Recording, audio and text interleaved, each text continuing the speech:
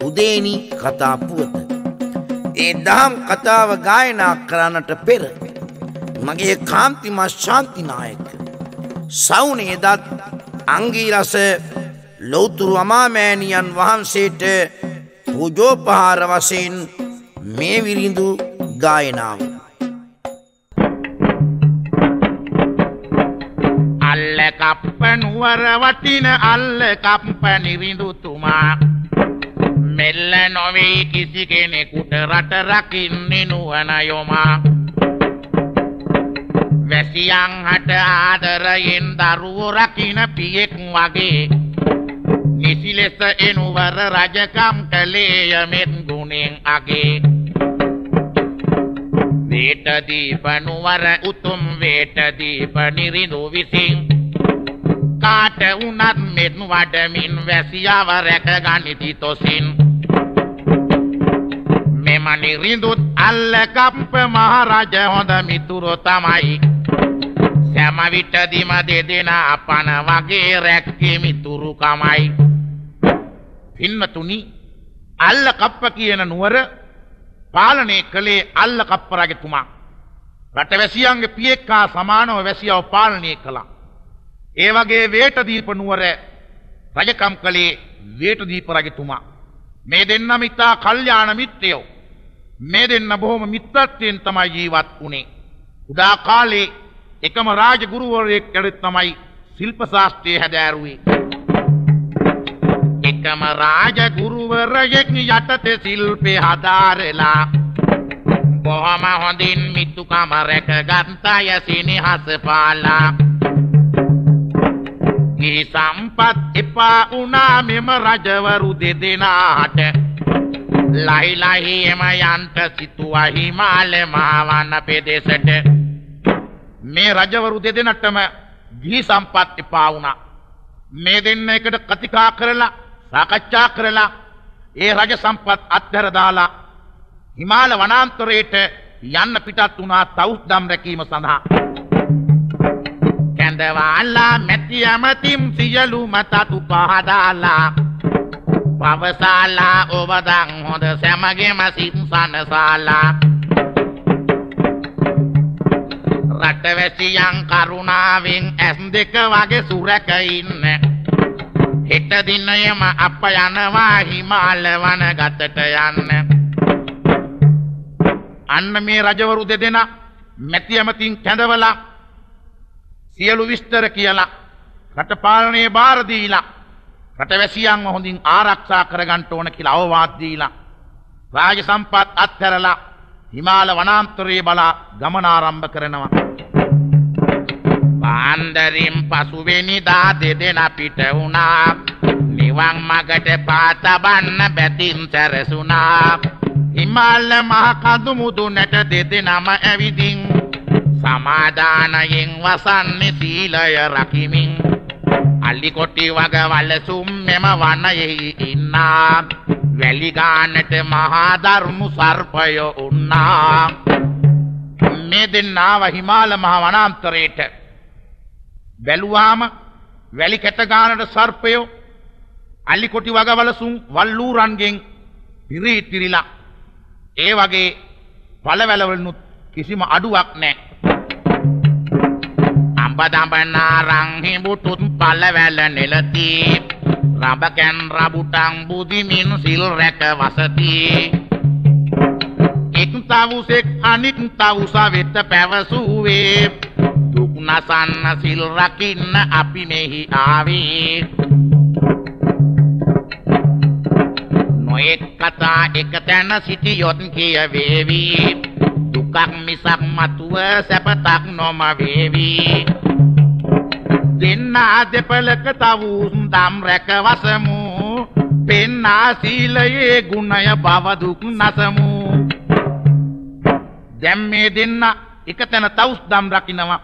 අඹදඹ නාරං හිඹුටු රඹකැන් රඹුටම් පළවැල ආහාරයට ගනිමින් සීලය ආරක්ෂා කළා. එක තවුසෙක් අනික් තවුසාට කතා කරලා කියනවා මිත්‍ර තවුස්තුමනි අපි එක තැන හිටියොත් සල්ලාප කතා කියවෙන්න පුළුවන්.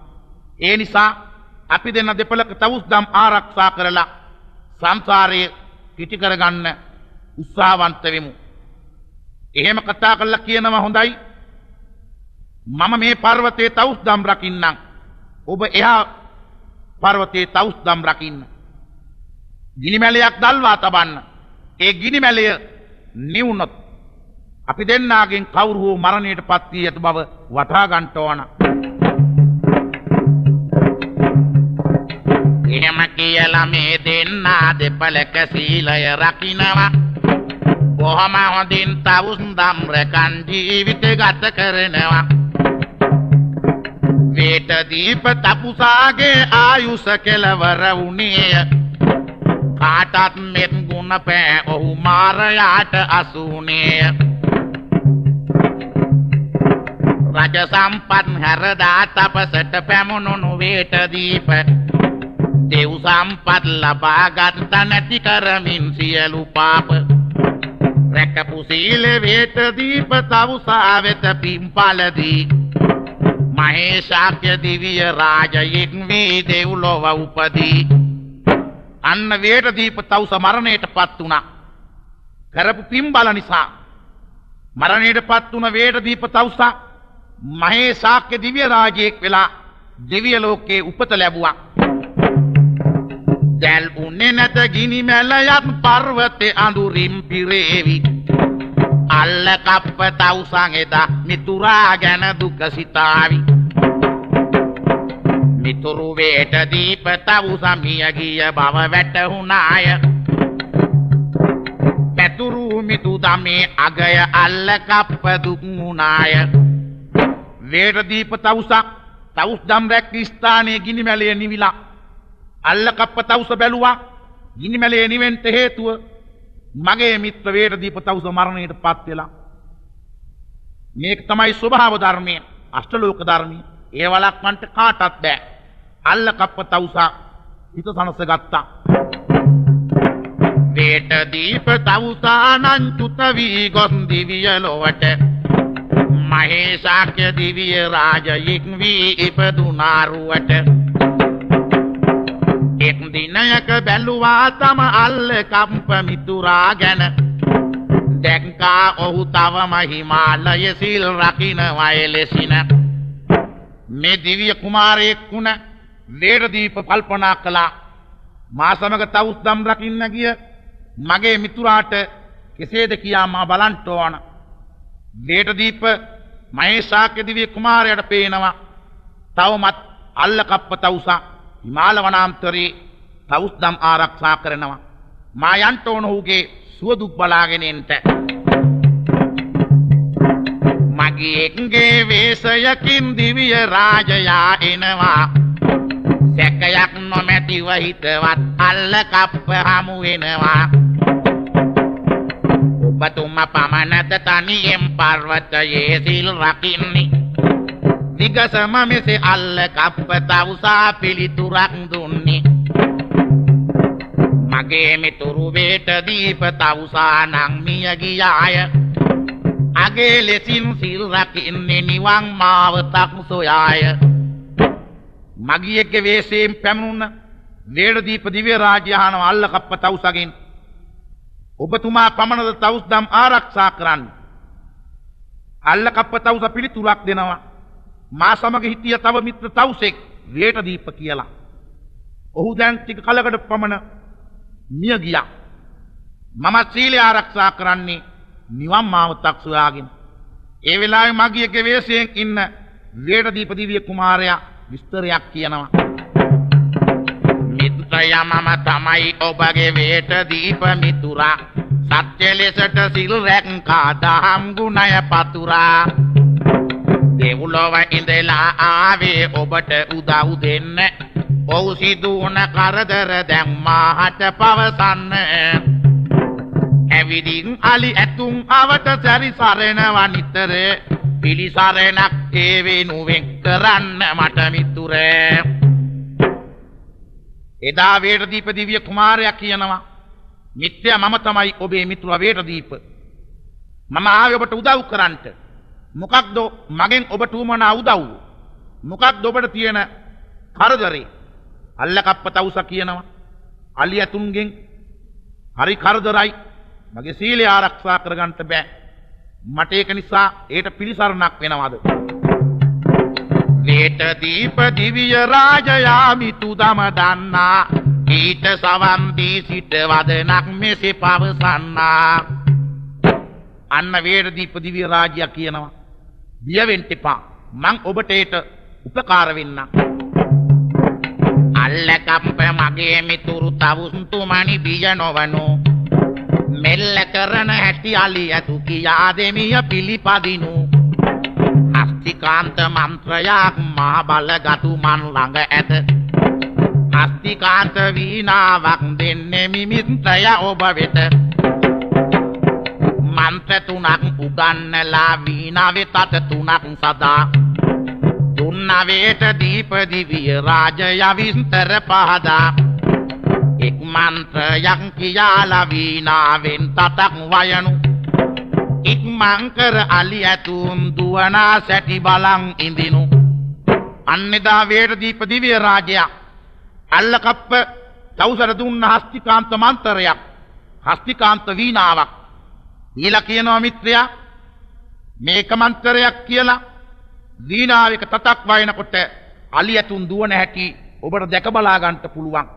තව තවත් මේ මන්තර කියන ආකාරය උගන්වනවා. එතැම් පටන් අලි ඇතුන්ව මන්ත්‍ර බලයෙන් පන්නා හොඳින් අල්ල කම්ප තවුස අසපු වෙසිල් රැකවුන්නා අන්න පින්නතුනි මිත්‍රයාගෙන් ලැබිච්ච හස්තිකාන්ත මන්තරයත් හස්තිකාන්තාවත් කාන්ත වීනාවත් ආරක්ෂා කරගෙන අල්ලකප්ප තවුස්තුමා හිමාල වනාන්තරයේ තවුස්දම් ආරක්ෂා කළා. ඒ කාලෙදි කොසඹෑ පුරවරේ රජ කරන්නේ පරන්තප කියන මහරජවරේ. එම කාලෙදි කොසඹෑපුර නිරිඳු පරන්තප ගම්බිර තම ආදර දේවිය සා රජකම් කරන වයනුවර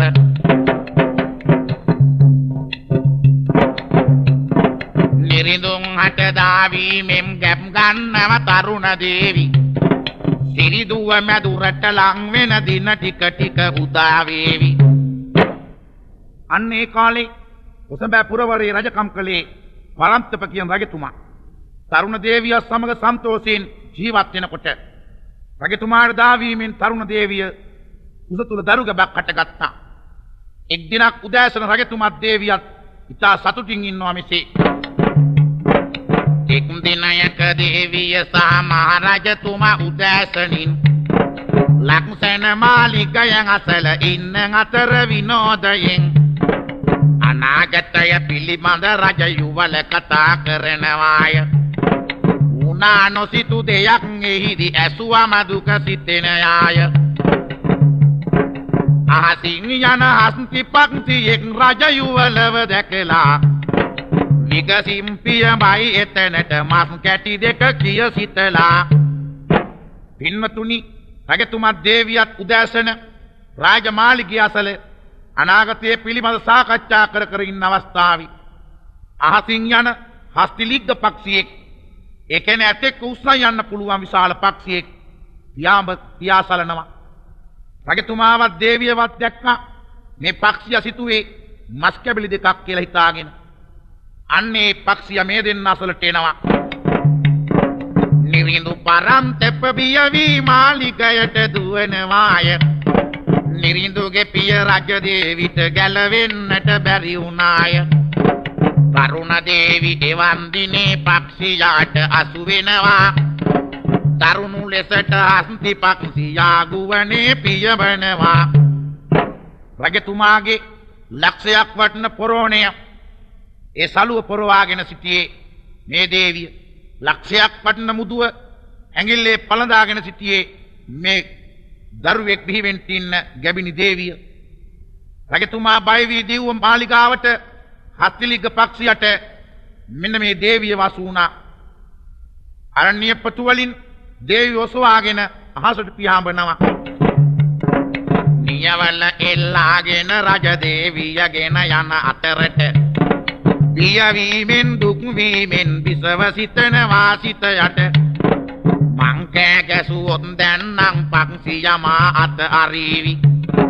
වෙන්නේ විපත බිමට වැටි අයියෝ මාමිය ඇදේවි. නියවල එල්ලාගෙන මේ දේවියව හස්තිපක්ෂියා ගුවනට පියාඹන අවස්ථාවේ දේවිය කල්පනා කරනවා.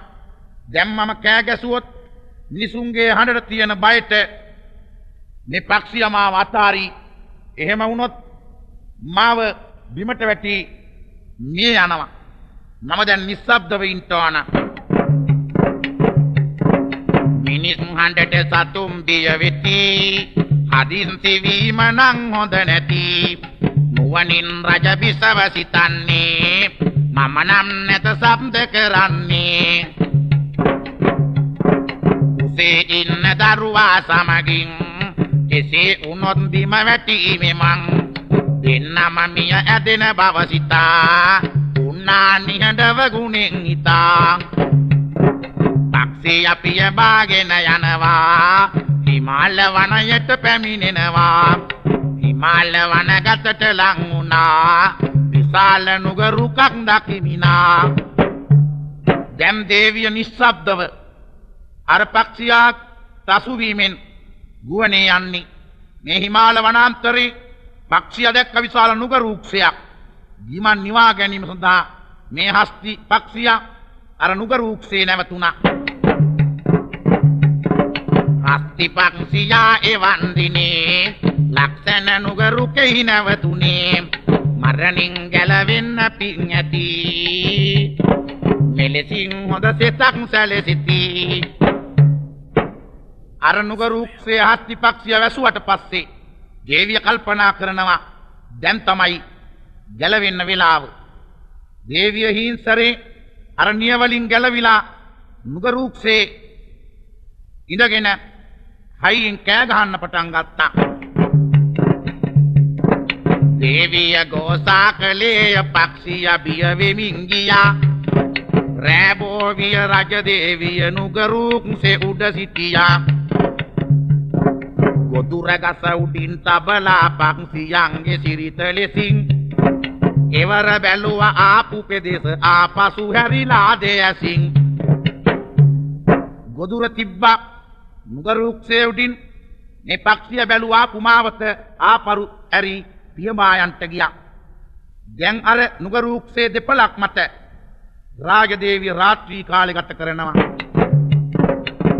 රෑ කල්ල ගෙවෙමින් පව්වෙනි දාටත් ඉර පායනවා. උස තුල සිටි පුත් කුමරුව නුගරුක උඩ බිහි වෙනවා. අරුණ උදයේ බිහි වුණ පුත් කුමාරයාගේ මුහුණ බලා තරුණ දේවි පුතාට නම තැබුවේ උදේනී කියලා. අන්න රාත්‍රී කාලයේ ගෙවිමින් පව්වෙනි දරුණෝතේ කියන උදෑසන. උස තුල සිටි පින්වත් කුමාරයාව බිහි වුණා නුගරූක්ෂේ උඩදී. මේ අරුණෝදේ බිහි වුණ පුතා නිසා දේවිය නමක් ලැබුව පුතාට උදේනි කියලා. තවමත් නුගරුක මැද අතු අතර පුතත් මවත් සිටී. පින්වත් මේ උදේනි පුත් කුමරුන් මුළු රටක් වටී. බලමින් පුත් කුමාරයාගේ මුව මවුතුමි සැනසේවි. අල්ල කප්ප තවුසා පලවැල නිලන්ට පැමිණේවි. පුත් කුමාරයාව තුරුළු කරගෙන නුගරුක්ෂේ උඩ මෙන්න මේ දේවිය බොහොම සතුටින් ඉන්නවා. අර වනාන්තරයේ තවුස් නම් ආරක්ෂා කරන අල්ල කප්ප කියන තවුසා පළවැල ටිකක් නෙලාගෙන යාම සඳහා හිමාල වනාන්තරයට පැමිණෙනවා. පල්ලවැල්ල කූඩෙත් කෙවිටත් අල්ල කප්ප තවුසන් අරන් කලබලයෙන් එන්ටගෙන්නේ අසපුව වෙත වේත දරන් නුගගස අසලින් එන විට කිරි දරුවෙක් හඬනවාය.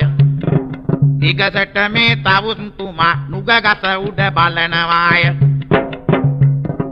කිරි දරුවෙක් තුරුළු කරන් දින්නා දේවිය පෙනුණා. පිරිසිදු ගති ඇති තවුසාට හිදි සෝකයක් දැනුණා. පළවැල කූඩේ කෙවිතයි අරගෙන එන තවුසට පේනව නුගරුක්ෂේ උඩ.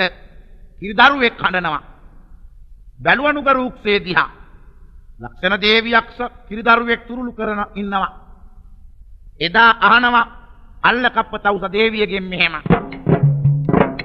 ඔබ කවුරුද කිරිදරුවෙක් සමග ගස උඩ. සැබවට මට වින්තර පවසන්න ඇත ඉඩ. මම මනුෂ්‍ය ලඳක් බව බිසව කියාලා තමන්ට සිදුවන කරදර දුනි පාදාලා.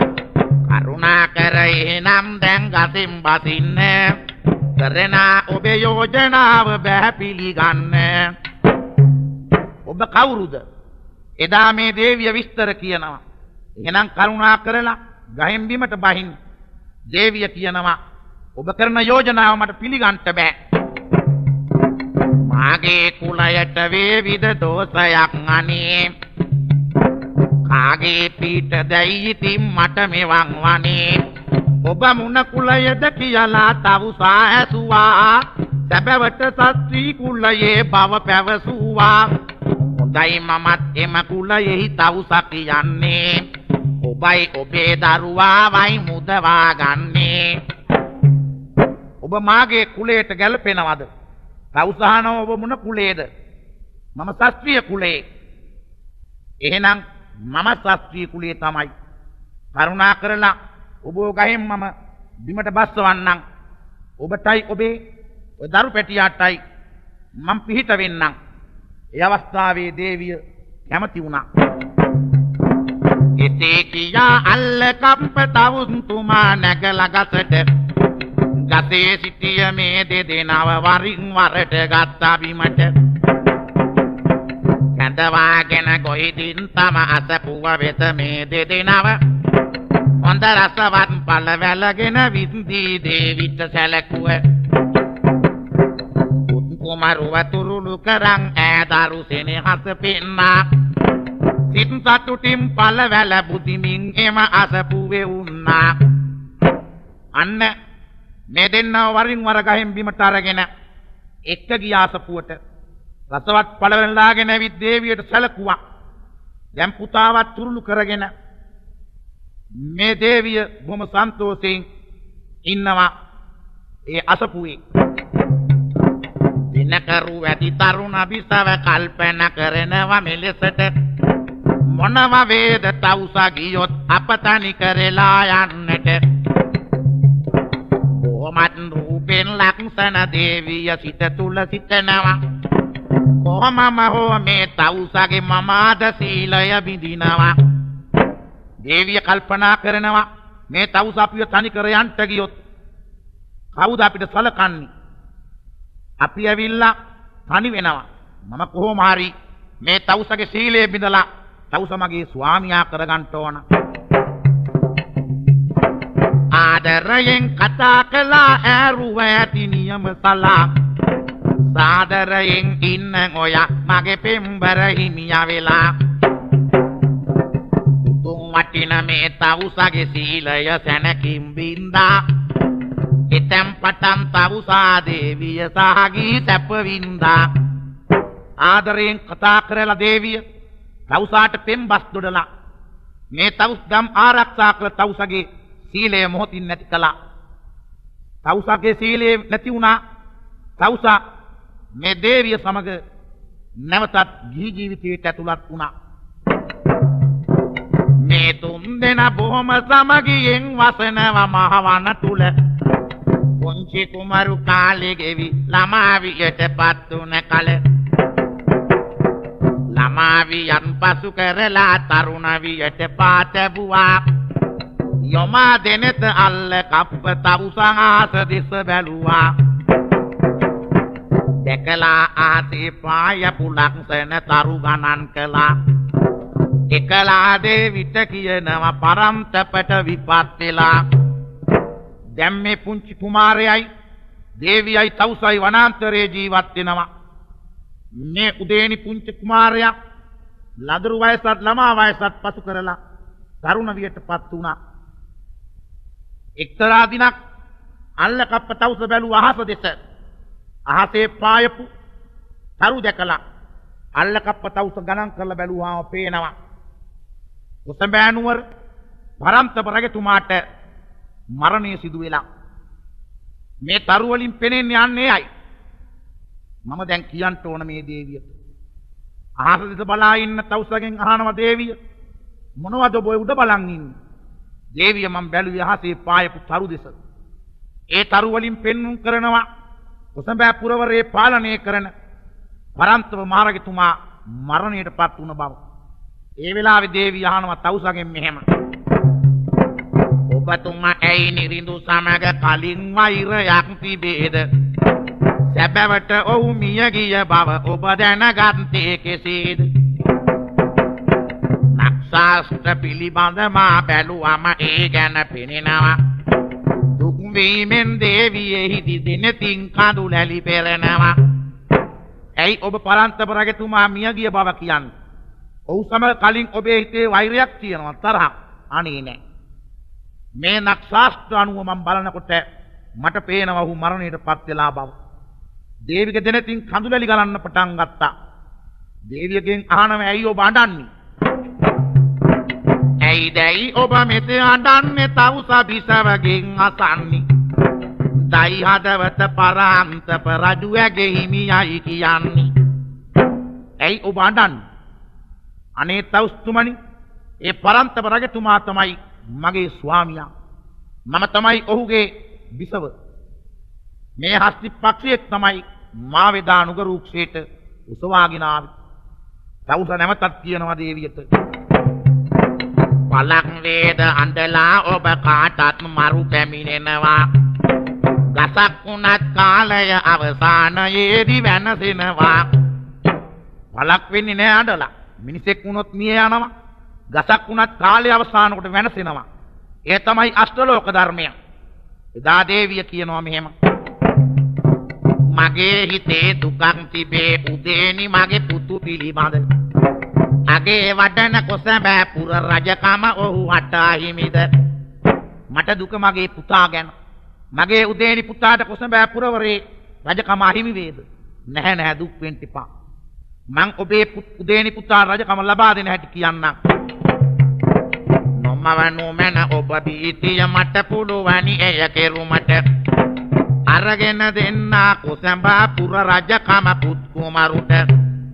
බිය වෙන්න එපා. ඔබේ පුතාට මං කොසඹෑ පුරවරේ රජකම අරන් දෙන්නම්. ඉසවගේ සිත සන්නසාලා අල්ල කම්පතවුන්තුමා විගසට මේ ලෙස කලාය එතුමාගේ නුවන යොමා ඉක්මං කර හස්තිකාත වීනාවත් කුමරුට දුනි හස්තිකාත මන්තරයත් ඉගැන්නවා කරුණාවෙනි. එදා මේ තවුස්තුමා උදේනි පුත්තුමාට කැඳවලා හස්තිකාන්ත වීනාවයි හස්තිකාන්ත මන්තරයත් උගන්නලා කියනවා බිය වෙන්න එපා ඔබ දැන් යන්න. ඔය මව්තුමියගේ අතේ තියෙන ලක්ෂයක් වටන මුදුවත් පළඳ ගන්න. ඔය ඔබේ පරන්තව පියරජතුමාගේ කොරෝන සලුව ලක්ෂයක් වටනවා. එයත් ඔබ අරගන්න. මා කියන ආකාරයට ඔබ යන්න කොසඹෑ පුරවරයට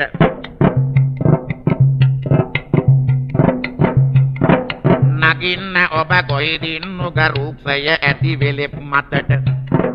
වයන්න වීනාවරුවින් කියන්න මන්තරය හොඳට.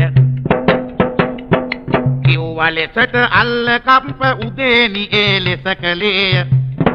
දිව්වේ අලි ඇතුන් එම දින පීරාගෙන කැලේය ගන්න මේ වීණාව ඔබ යන්න ඔබ බිහි වුණ නුගරුක්ෂය ඇති වෙලෙප් මතට ගිහිල්ලා මේ වීණාව වයන්. වීණාව වයලා මන්තරයක් කියන්න මේ තත වයන්. අන්නේ අවස්ථාව වෙනකොට අලි ඇතු කැලේ පීරාගෙන දුවන්න පටන් ගනි.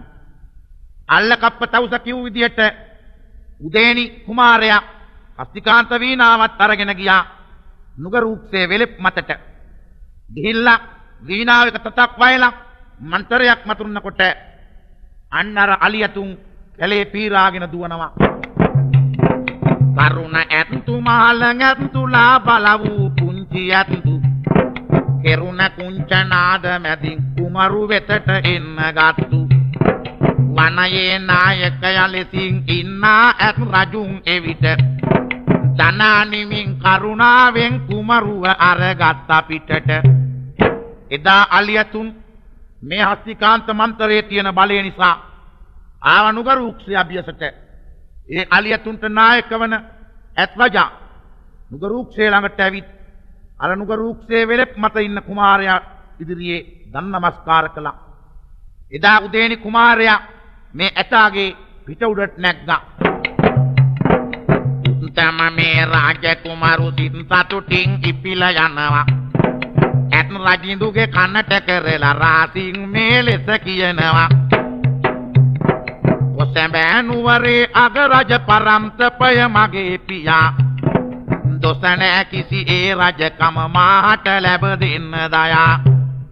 ඇත් රජාගේ කනට කරලා උදේනි රජතුම් කුමාරයා කියනවා මම තමයි ඔසැබෑ පුරවරේ පරන්තප රජතුමාගේ පුත් කුමාරයා. ඔබ මට උදව්වක් කරන්න ඕන. ඒ කොසැබෑ පුරවරේ රජකම මට ලබා දෙන්න ඕන. අසමින් ඒ බස නැවතත් හස්ති රජා නාද දෙනවා. දස දහසින් අලියත් පෙරහැරසේ ඇදී එනවා. ඒ කතාව අසපු මේ හස්ති රාජයා මුංචනාද කරන්න පටන් ගත්තා. දසදහස් ගණන් අලියත්තු පෙරහැරක් වගේ ඇදී එනවා. කුමරු කරේත් වරපිට තබාගත් මේ ඇත් රාජයා ගමන ආරම්භ කරනවා. කුමරු පිටතියන් ඇත් රජ පෙරමුණගෙන ගමන යනවා. එම පසු පස අනිත් ඇතුම් කොසැබෑ නුවරටම එනවා. දැන් කුමරුව පිටේ තබාගෙන ඒ හස්ති රාජයා ඉදිරියෙන් ගමන් කරනවා. අලියතුන් දසදහස් ගානක් පසුපසින් එනවා කොසඹෑ පුරවරයට. මෙන්න මේ පිරිස කොසඹෑ පුරවරයට ළඟා වුණා. වට වී එන ඇත් පෙළහර දැක සැම දෙන පුදුම වෙන්නේ. රටවැසියන් අට කුමරුන් පින්පසු මේ ලෙස කියන්නේ. මම මේ රට රජුගේ පුතා ආවේ සිහසුන ලබන්න. කැමති කෙනෙක් වස්තු වලට එන්න මාත් සමග යන්න. අන්න තේනාව වට වෙලා බලනවා මොකක්ද මේ ඇත් පෙළහර. අර හස්ති රාජයාගේ පිට උඩ ඉන්න දේනි කුමාරයා කියනවා. මම තමයි මේ රටේ පරන්තප රජතුමාගේ පුත් කුමාරයා උදේනි. මම මේ ආවේ මේ රටේ රජකම බාර ගන්න. වස්තුව වමනාය එන්න මා සමග ගමන් කරන්න. වස්තුවට ආසා සේනාව කුමරුගේ පස්සෙන් එනවා. කුමරුගේ මේ වදන් අසා රටවැසියන් සතුටු වෙනවා. සැම දෙනාම ඇත් පෙරහැර පසුපස ගමනට යෙදෙනවා. තේජවන්ත ඇත් පෙළහර රජවාසල වෙතට යන්නේ. රාජ මැදුර වෙත ලං වී කුමරුන් මේ ලෙස කියන්නේ. දැන් විශාල සේනාවක් පස්සෙන් එනවා. රාජමාලිගාව අභියසට ආපු දේනි කුමාරයා මෙන්න මේ වගේ විස්තරයක් කරනවා. රට රකිනා රජතුමාගේ මම වෙමි බලවන්ත පුතා. මට හිමි රජකම ගන්නයි දුරගෙවමින් ආවේ ඉතා. රාජමාලිගාව අභියසදි කියනවා මම තමයි මේ රට පාලනය කළ පරන්තප රජතුමාගේ එකම පුත් කුමාරයා. අද මම ආවේ මේ රටේ රජකම බාර ගන්න. දැන් මැති ඇමතිවරු එක් වුණා. මැති ඇමතිවරු මේ උදේනි කුමාරයාගේ වචනේ පිළිගන්නේ නැහැ. එයා හිතේ මේ බොරුකාරයෙක්. මැති ඇමතිවරු උදේනි කුමාරයාට මෙන්න මේ ආකාරයෙන් දොස් කියන්න පටන් ගත්තා. එනවද දැම් බොරු කියන්න ඇමතිවරු කියයි මෙලෙසට මොනවද ඔබ හට තියෙන්නේ ඔප්පු කරලා පෙන්නන්නට ඔය බොරු වැදන් අපි පිළිගන්නේ නැහැ. ඔබ කොහොමද පරන්තප රජතුමාගේ පුතා කියලා අපි හට ඔප්පු කරන්න. ඔප්පු කරන්න මොනවද තියෙන සාක්ෂි? නැත්තම් අපි ඔය වචනවලට රැවටෙන්නේ නැහැ. එහෙම කියන අවස්ථාවේ උදේනි ර- කුමාරයා අන්නර පරන්තප රජතුමාට පැලැන්දුව මුදු අරන් ගත්තා. ලක්ෂයක් වටන පොරෝණේ අරගත්තා. රජතුමාට පැලැන්දු මුදුව රැගෙන පෙන්නුව විට එජ වඩවන ඇමතිවරුන් දුකට පත්තුනා එම විට පෙන්නුව ලක්ෂයක් වටන රන් මුදුව. ලක්ෂයක් වටන පොරෝණය. පෙන්නුවාම මැති ඇමතිවරු බොහොම දුක් වුණා. අනේ සමාවෙන්න අපිට. ඒ අවස්ථාවේ මේ මැති ඇමතිවරු සන්තෝෂ වෙලා උදේනි කුමාරයට රජකම බාර දෙන්න සාකච්ඡා කරනවා.